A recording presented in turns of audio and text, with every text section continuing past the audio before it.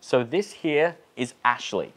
Ashley is an olive python, and when she's full size, she'll be one of the largest species of snakes that we have in Australia. But if she's ever gonna make it to that size, she needs to eat. And right now, it's feeding time.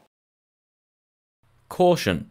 What you're about to see is a medium-sized snake strike, constrict, and swallow whole two large dead rats. There is no blood or gore of any kind, however the following scenes may be disturbing to some viewers. This video has been produced for educational purposes and is not intended in any way to be a celebration of violence between animals. Okay, Ashley, time for your moment of stardom. That's it, down you go.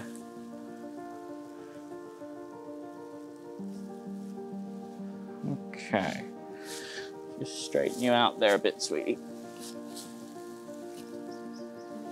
Because you don't want to go play with the tripods. You want to be over here because that's where your food's going to be. No, no, no. Not that way. Not that way. Let's get you that way. There we are. Settle. Settle. Perfect. Stay. Stay. Good snake. You'd believe I trained her. Stay. Get you your food. Reptiles are the masters of energy conservation.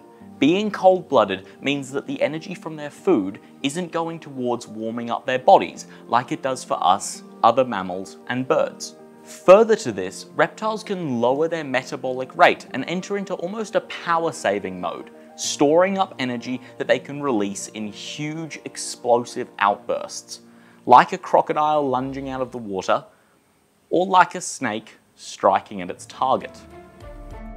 So let's see how Ashley does it.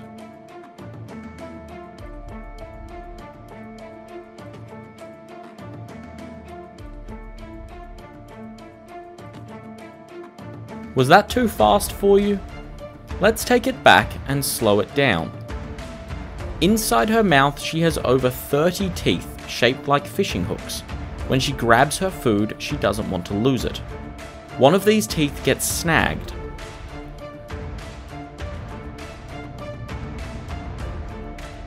On the second strike, she turns her head sideways slightly to hit more cleanly. Then she throws her body around it, constricting it. There is a common misconception about snakes. When they wrap around their prey, they're not squeezing as hard as they can or attempting to crush the animal. They don't need to. Remember that energy conservation is the name of the game. They only have to hold onto their prey tight enough that once their prey exhales, it can't breathe in again. Simply overpowering the muscles that allow the ribcage to expand is enough. But once they've killed their food, the hard part really begins swallowing it. Let's speed this up.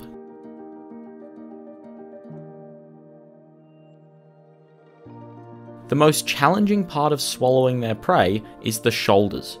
Usually, if a snake can get past the shoulders, they can swallow the whole animal.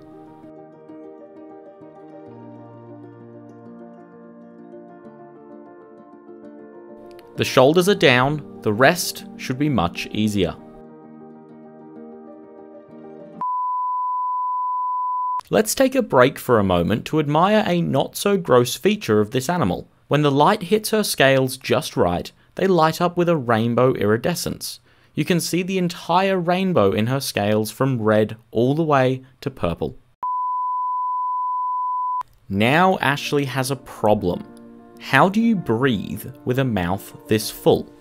The answer is with a snorkel. That pinkish thing coming out of her mouth is the end of her trachea, the tube which leads directly into her lungs. She can extend her trachea like a snorkel to continue breathing whilst she is swallowing. You can even see each breath that she takes. Another mistake people commonly make is saying that a snake dislocates their jaw when they're feeding. This is entirely untrue, but the truth is much more interesting. Her jaw is here, still attached at the top, but it's not attached to her other jaw. Snakes have what we call an unfused lower dentary. Essentially, they do not have a chin. When they eat a large meal, they open their lower jaws sideways and the skin in between stretches to fit the food into their mouth. She swallows by repeatedly bending and straightening her spine, forcing the prey deeper with each movement.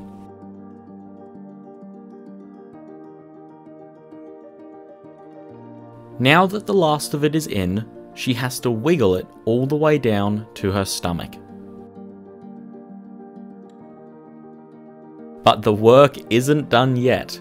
After all of this, she has only just gotten started.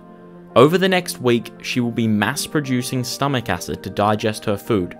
Within the next two days, her liver will have doubled in size. Her heart will have grown by 40%. In fact, her metabolism will step into overdrive, operating at a rate 44 times greater than when she hasn't fed.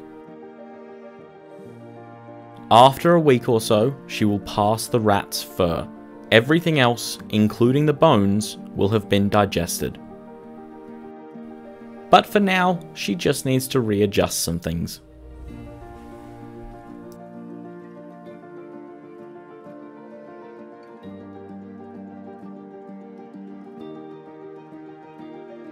So as gross and unusual as it is to watch this, this is an important part of this snake's life. She's a predator, and so she needs to eat prey in order to survive and to grow. She's an important part of her ecosystem, and in fact, this one meal will keep her going for over a month. Oh, that was so cool! As you finish yawn.